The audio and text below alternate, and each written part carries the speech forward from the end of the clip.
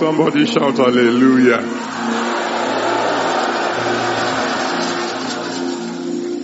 The purpose of the first Sunday in the month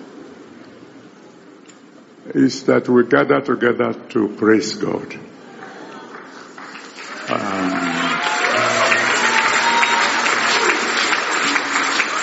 we praise God for seeing us through the last month.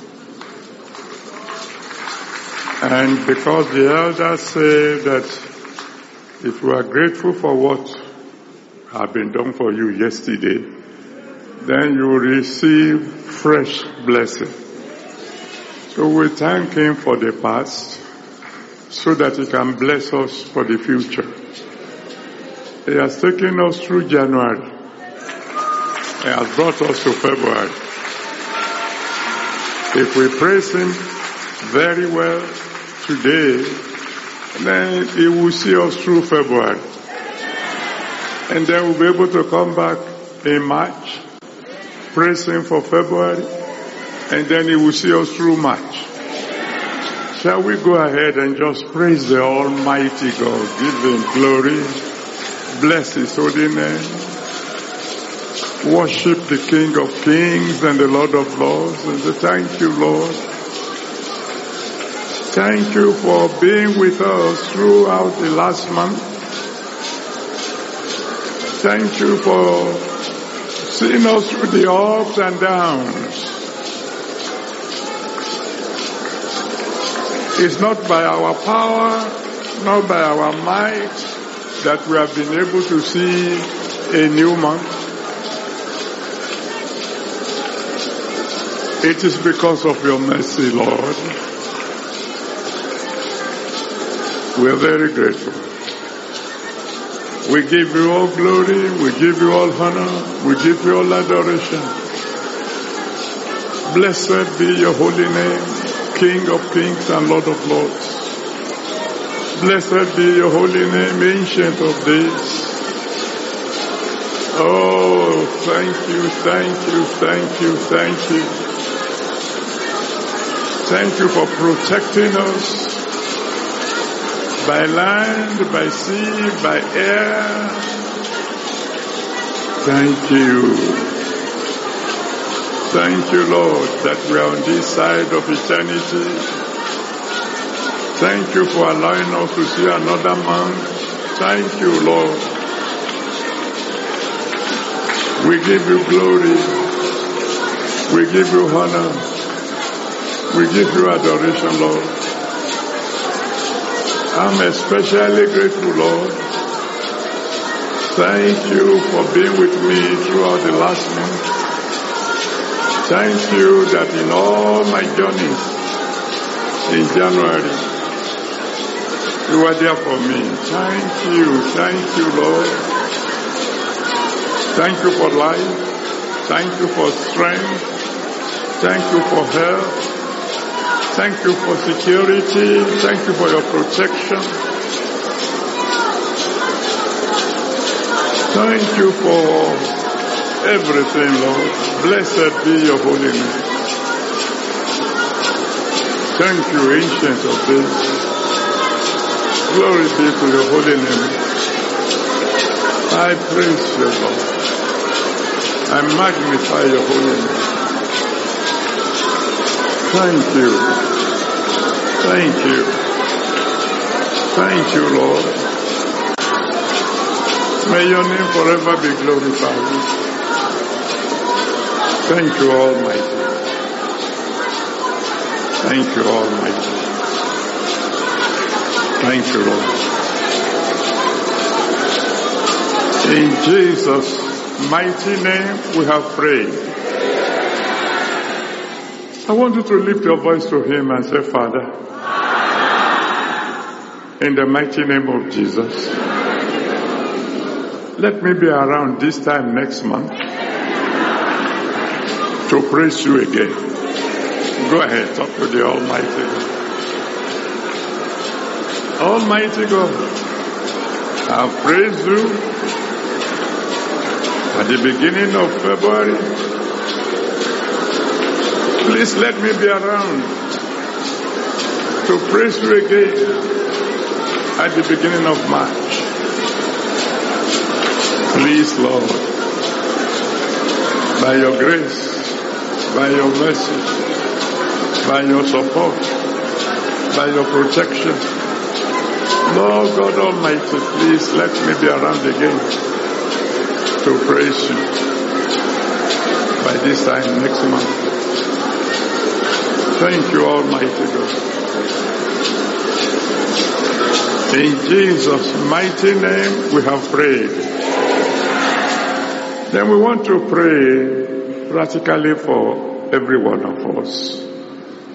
We want to pray for businessmen, businesswomen, traders, professionals, artisans, everybody who has to do with finance.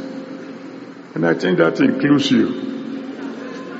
I want you to lift your voice to the Almighty God and say, on behalf of all these people, let your wind blow.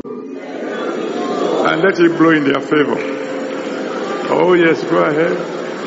Let your wind blow in favor of all businessmen, businesswomen, professionals, artisans, traders, all who deal with money, all who deal with finances. Let your wind blow in their favor this month. Let your wind blow in their favor. Thank you, Father.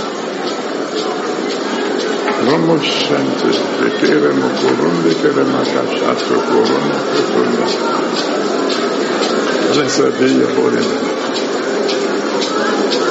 Thank you, Father. In Jesus' mighty name we have prayed.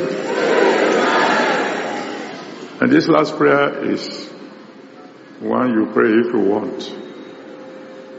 But I will want to say to the Almighty God, Father, in this particular month, let your wind blow in my favor. Mm, Go ahead. Talk to him. Let your wind blow in my favor, Lord. This particular month, oh Almighty God, let your wind blow in my favor. Let it blow mightily, mightily, mightily in my favor. Let this, the wind of the Holy Spirit blow in my favor, Lord. Thank you, Father.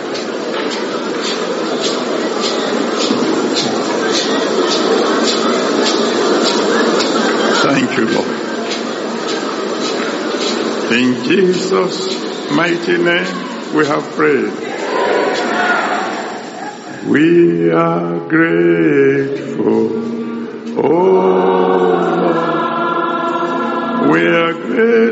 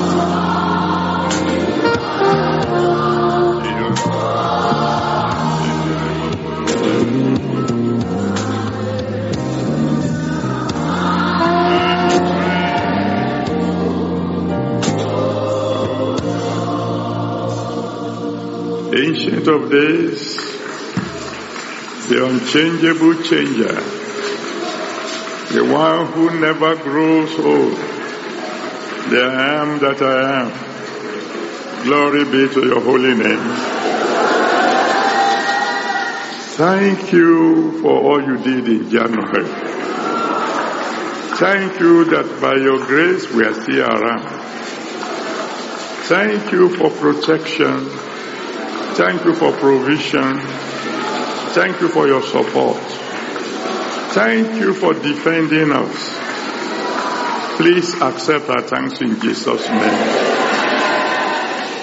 My Lord and my Savior, we are committing especially your children who are businessmen, businesswomen, professionals, artisans, traders, all those who are involved with one financial situation or the other. Father, this month, let your wind blow in their favor.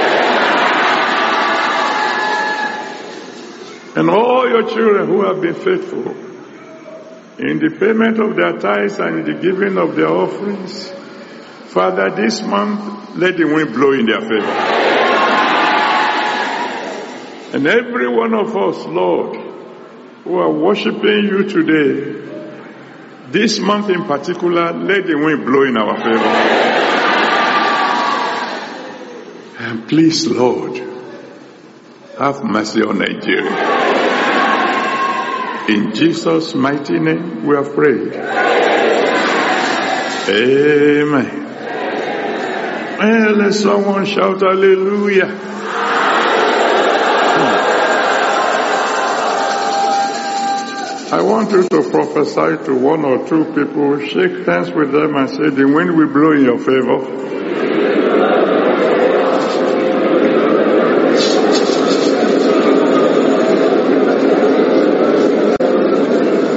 And then you may please be seated. Hmm.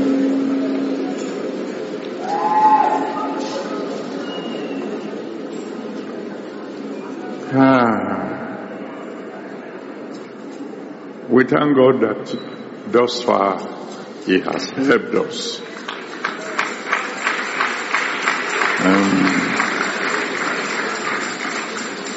I've always told you that I'm not a prophet. I'm a pastor. But I do hear from God once in a while. The Lord told us at the beginning of the year, He said, uh, the wind is already blowing. And He said, there's nothing we can do to stop the wind. And I, you remember I explained about the wind blowing. I said the elders have a saying that when the wind blows, you will see the anus of the chicken, which means hidden secrets will come into the open. We are just in February. And several secrets are already coming into the open. The wind is already blowing. There's nothing we can do to stop the wind from blowing. So I'm appealing once again to all my children. If you know you have any secrets that you don't want exposed, you better do something about it fast. Because there's nothing we can do to stop the wind. Because we haven't seen anything yet. The wind is already blowing. And may the wind blow in your favor.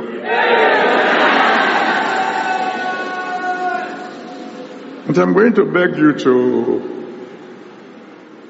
pray for Nigeria. Ah. You remember God also said at the beginning of the year that things are going to get worse before they get better. How many of you remember that? Hmm. Now, if you know the value of the naira to the dollar, by January 1 and you compare it to the value of the naira to the dollar today, you will know it looks as if this little boy heard from God. The reason we have to pray and pray with all our strength is that when he says things will get worse before they get better, we don't know how worse. We don't know how far down we will go before we begin to climb again. So please, with all your heart, I want you to begin to cry to God and say, have mercy on us. Let the downward turn end very quickly. Because when things get worse, it's innocent people like you and I who will suffer. Am I correct? It doesn't matter how much they are changing the dollar for now. There are some people who are secure where they are. Like I said on Friday, or was it on Thursday, at the Holy Communion service. the governor does not need to know the cost of petrol. Is that correct?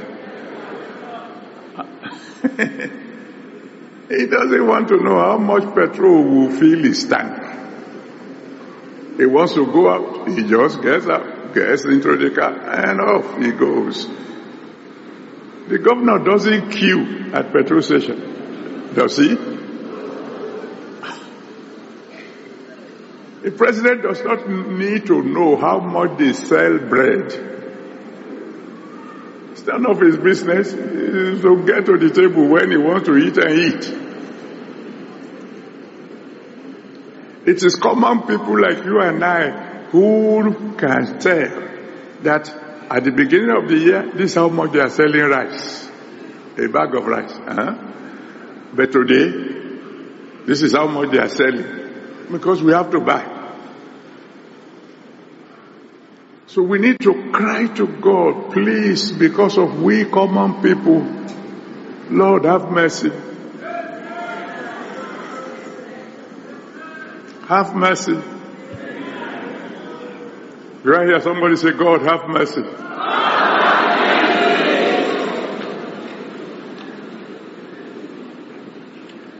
All right. Exodus chapter 15 verse 1. Exodus 15 verse 1. Then sang Moses and the children of Israel this song unto the Lord and spake, saying, I will sing unto the Lord, for he hath triumphed gloriously. The horse and his rider has he thrown into the sea. I will sing unto the Lord, for he has triumphed gloriously. The Almighty God will fight your battles for you. You will sing a new song of victory, of success, of prosperity. No matter how hard things may get, you will always have more than sufficient.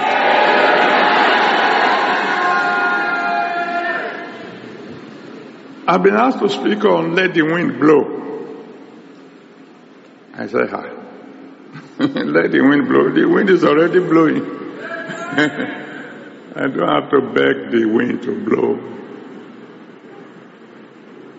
But when we are talking to businessmen, businesswomen, professionals, etc., etc., let the wind blow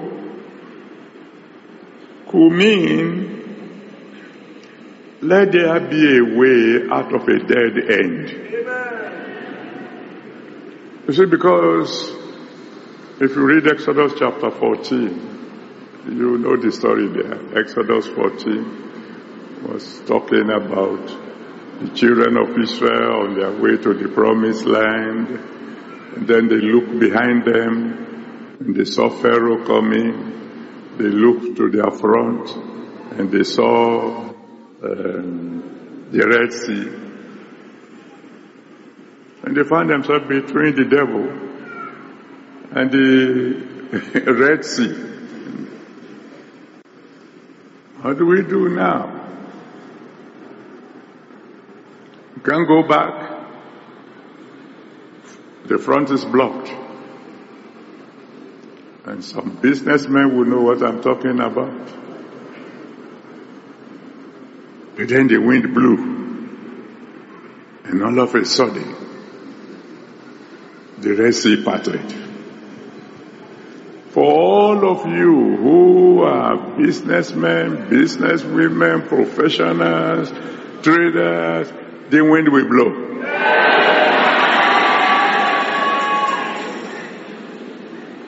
Because the wind has to blow for you to be able to move forward. Oh God. Nobody knows the problem of a businessman or a businesswoman who borrowed money from the bank to do a particular project and then all of a sudden there's no money to finish the project. And the bank doesn't want to hear. Steadily the interest will continue to grow. Ah, but in the mighty name of Jesus Christ, the wind will blow.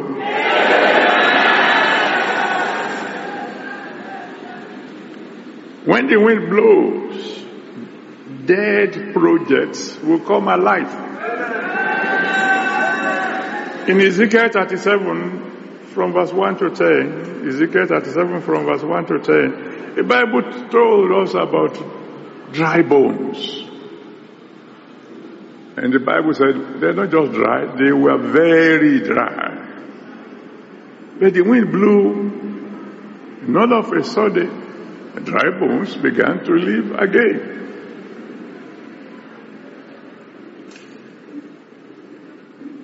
Several times as I drive through some great cities of the world, and I see abandoned houses, abandoned factories.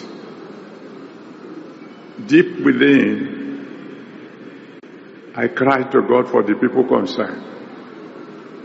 Because when you want to build a house, the day you lay the foundation, you are looking forward to the day you will do the dedication. But somewhere, somehow, something goes wrong. And then there's no going forward. And there's no going backward. Every one of you finding yourself in a dead end, the wind will blow.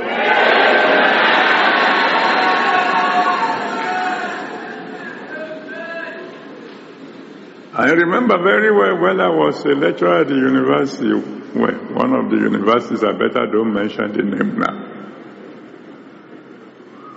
And there was a young fellow in one of the departments. Nobody knew. But uh, the head of the department had told him, as long as I'm the head of the department here, you will not be promoted. And what do you, what, how do you handle that? When Oga says no promotion for you, for whatever reason. And the young man gave his life to Jesus. And the wind blew. How did the wind blow? There was a coup. And when there was a coup, for one reason or the other, uh, there was a change of uh, head of department. And when the new head of department came, he said he wanted to see the fires of everybody. they searched and searched before they could find the file of this man because Oga had hidden the file.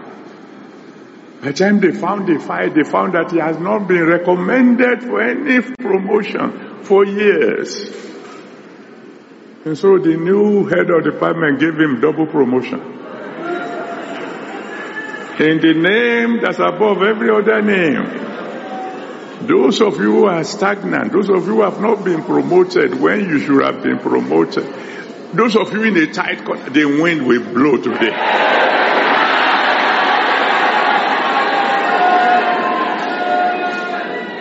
And then the wind, let the wind blow could mean something else.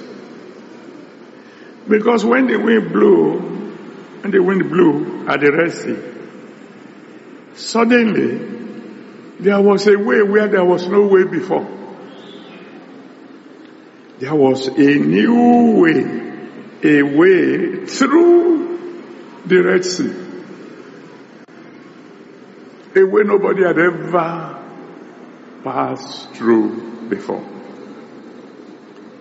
You know, when the wind blows, God can just give you a new idea. A new idea nobody ever thought about before.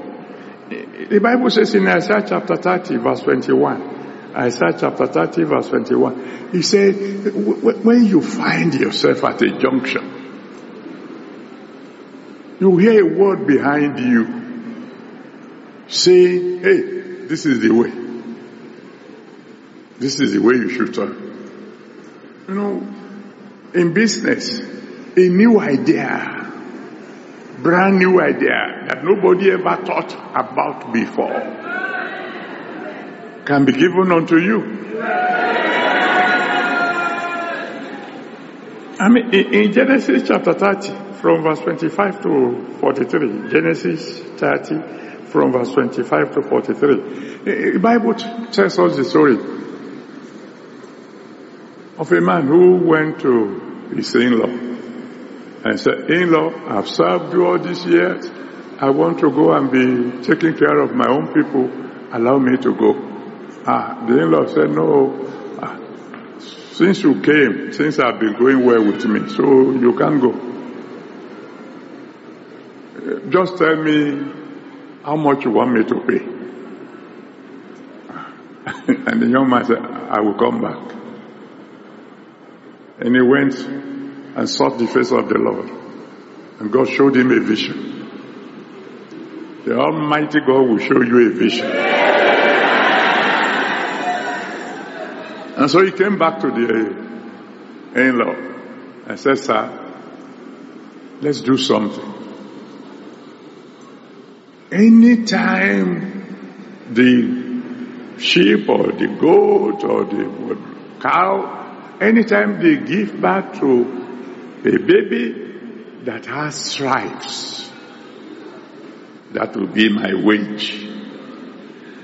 If it has no stripes, it will be yours. Ah. the in-law said, fine. How many, how many sheep and goats will ever have stripes? He didn't know that this man has seen a vision.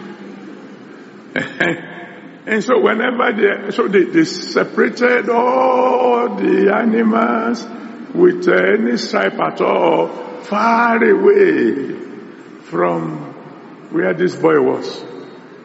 And uh, the boy now said, every strong animal that is pregnant, God told him, just take a piece of wood, make stripes on the wood, put it in front of the animal when they are drinking water it is what they see that they will produce. Within years, all the strong animals had been transferred to this boy. Uh, the children of the in-law said, this man has stolen our father's uh, blessing away. He didn't steal. God gave him a vision. God is going to give somebody a vision. You remember the story of that man who was an accountant accountant in a very big organization. And suddenly it just occurred to him, how long am I going to be saying yes, sir, yes, sir? At the end of the year, they will write a very good report and uh, they will increase my salary, but I'm still saying yes, sir. How long will this continue? God give me an idea. And God gave him an idea that sounded very crazy. What was the idea? Anytime you want to roast granite, add a little bit of honey. What, what kind of business is that? That is from God. And so the boy began, began to roast granite with honey. Everybody tasted it and said, ah, this one is different. When they were installing, I think, I can't remember which of the presidents in America, it was this man's granite that they served. By the last time we heard about it, he already had five jets from selling granite. I pray for someone here today before this time next year, people will look at you and say, ah, ah.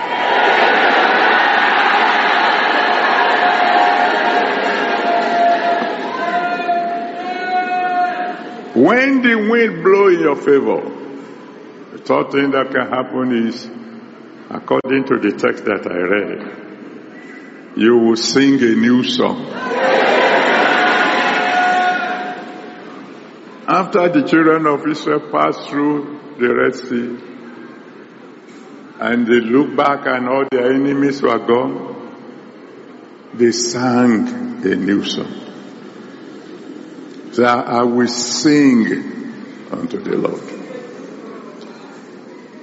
In Psalm 40 from verse 1 to 3, Psalm 40 from verse 1 to 3, the Bible tells us this, uh, that I, I, I waited patiently on the Lord. I cried unto him. He heard my voice. And he has put a new song in my mouth. Moses was not a songwriter. He was a politician. He didn't go to the school of uh, music. But you see, when God does something great for you, Suddenly you find yourself composing songs. and the song might be just hallelujah, hallelujah, hallelujah, but it will be a song. I decree that there's somebody here who will sing a new song this month.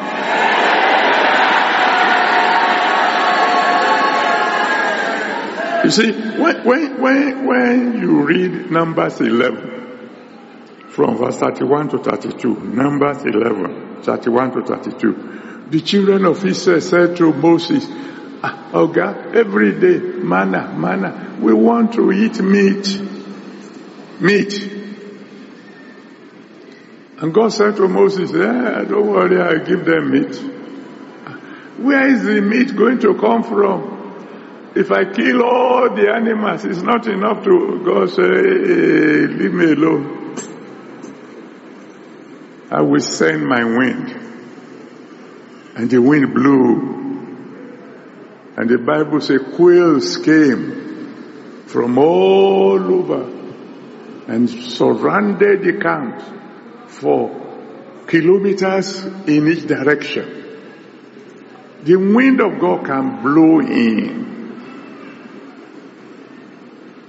Eh, I, I, I mean, a breakthrough that is difficult to explain. You can be poor today and within a week you can become extremely rich.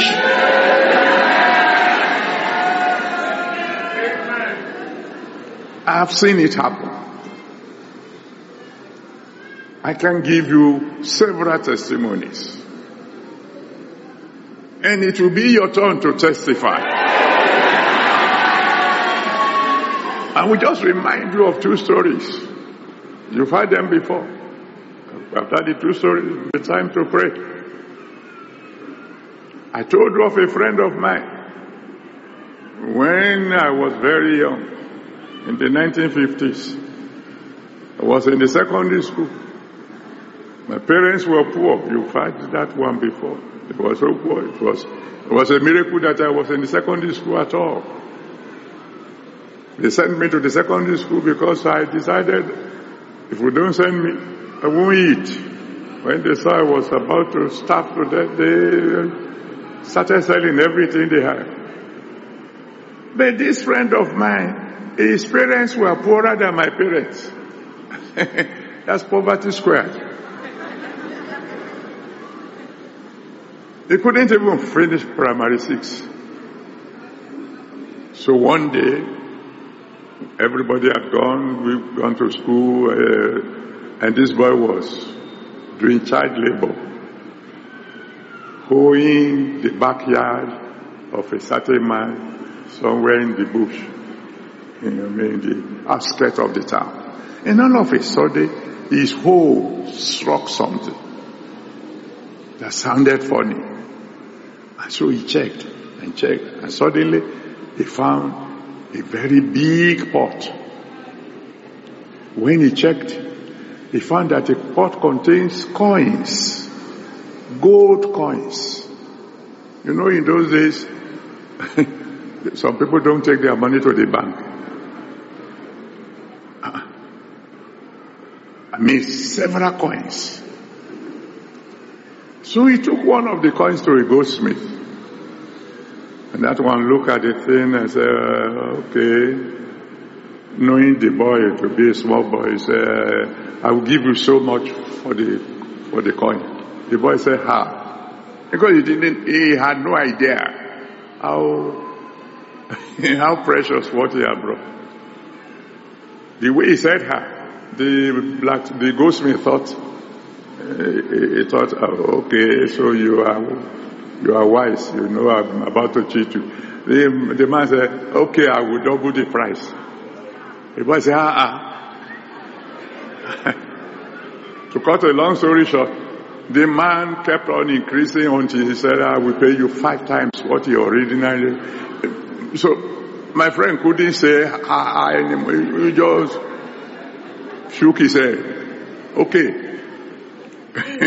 so the man said, do you have more? The boy, ah, I do. And he brought in all the others. And the goldsmith bought all of them. It wasn't long after that I didn't see my friend again. Because rich people don't, they don't befriend the poor. I decree to somebody here today, your level will change.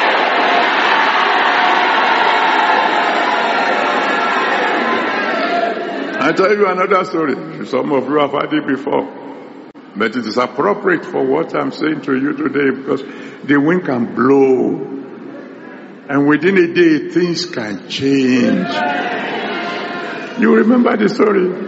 The story of an Arab boy who gave his life to Jesus Christ.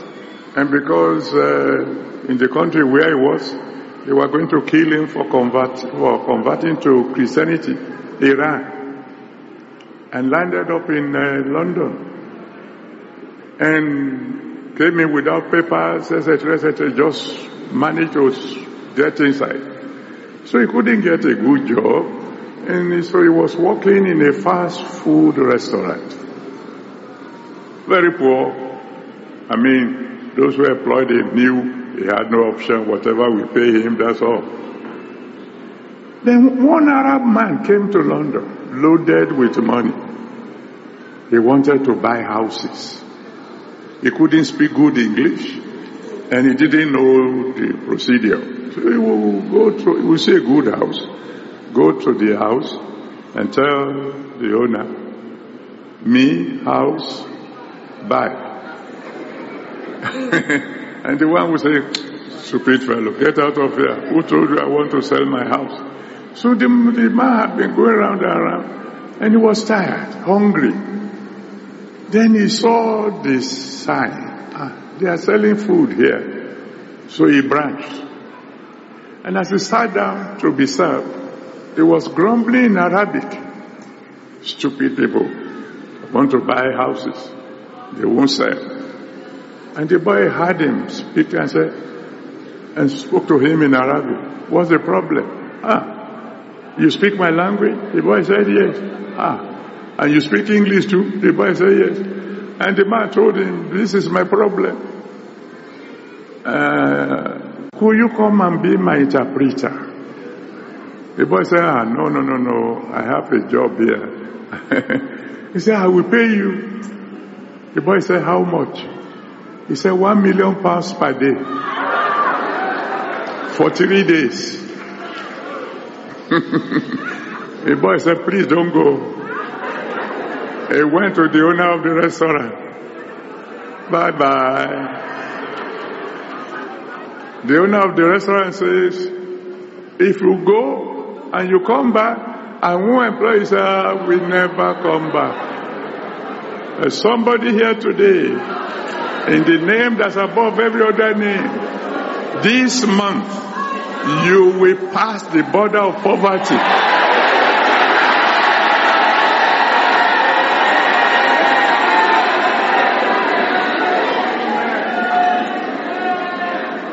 Let me close. When the wind blows, whether it blows on your favor or not, depends on whose side you are on. Because the wind that blew, that opened the way for the children of Israel, is also the wind that blew that drowned Pharaoh and his hosts. The wind that is blowing, as you can see in Nigeria, that is already exposing some level of corruption that we didn't know existed before. The same wind can blow prosperity into some time, into some lives. Many a times it is when things are hard that God's children prosper. Amen. On whose side are you?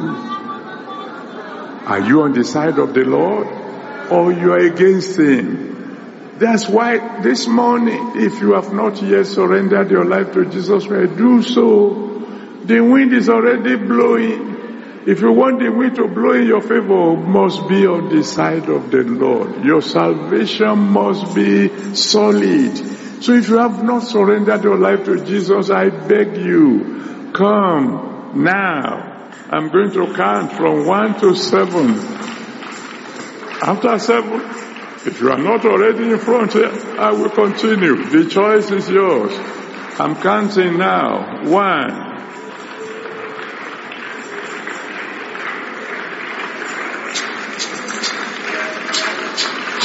Two.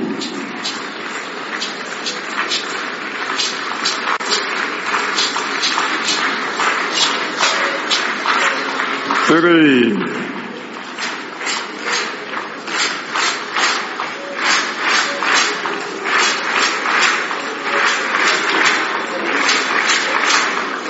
It's your choice. Want to keep on struggling. You want to remain at a dead end. If you want to remain just where you are, just managing to survive, the choice is yours. That if you want the wind to blow in your favor, you have to surrender your life to Jesus Christ. Four. Oh, you say, what will my friends say if they see me going forward? Ah. Your friend can't even help themselves. Not to talk of helping you. We are now asking you to come to the side of the one who can help you. Surrender your life to him so that your future might be alright. Hurry up. Five.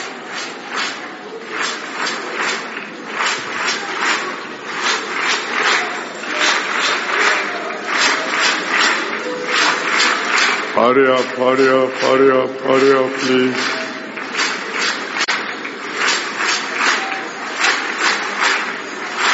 Six.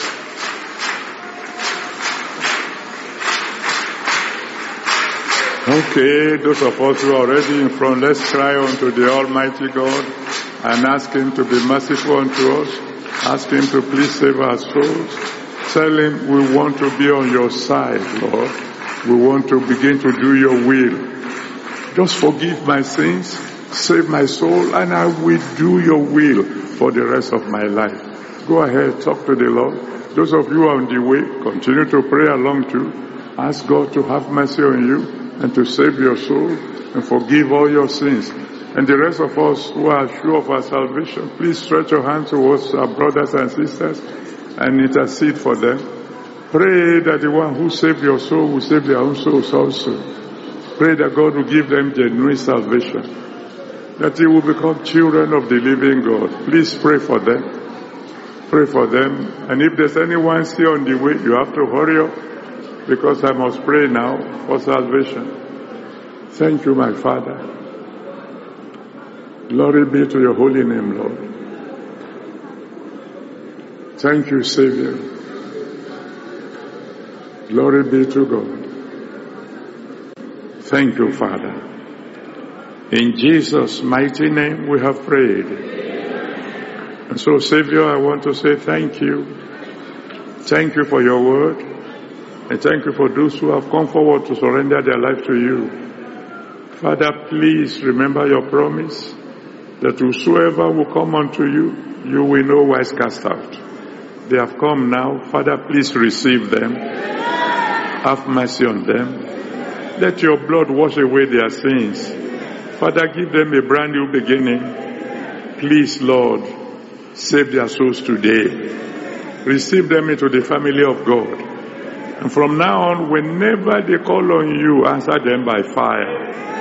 And don't let them ever backslide. In Jesus' mighty name we have prayed. Amen. Praise the Lord. Now I rejoice with those of you who have come forward. From now on, by the grace of God, I'll be praying for you. So I'm going to need your names, your address, and your prayer requests. And I promise you, I'll be praying for you. Uh, you. The counselors will be attending to you in a moment. But I want to pray for everybody now. So stay where you are right now. Uh, the rest of us who believe that the wind might begin to blow for you today. Stand on your feet and shout hallelujah.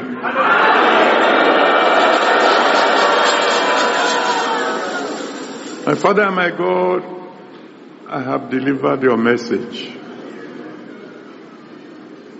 I thank you because you spoke to me clearly at the beginning of the year that the wind is already blowing.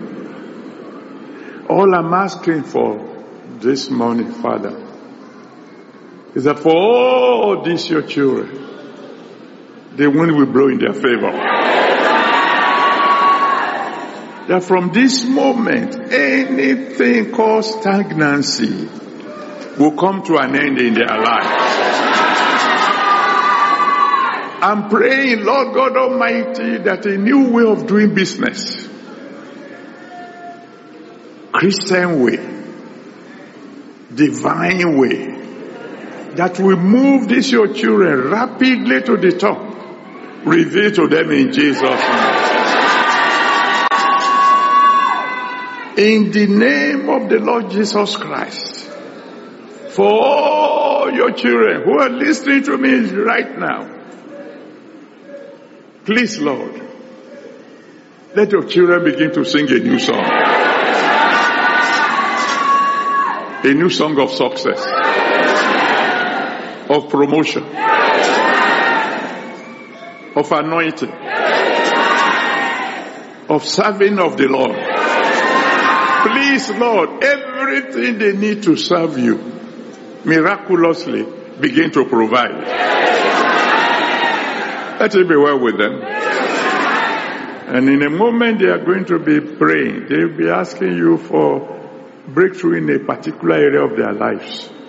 Please, Lord, Whatever they ask for today, this very day, grant unto them. I pray that together we will serve you to the end. Thank you, Almighty God. In Jesus' mighty name we have prayed. Amen. Praise the Lord. Well, you're going to be praying, you're going to ask God for the wind to blow for you in particular area of your life. But before you do that, make sure you spend at least another two, three minutes to praise Him. Because when you praise Him, then He will move. So go ahead, praise Him, and then ask Him for breakthrough in a particular area of your life. Let's go ahead and begin to talk to the Almighty God.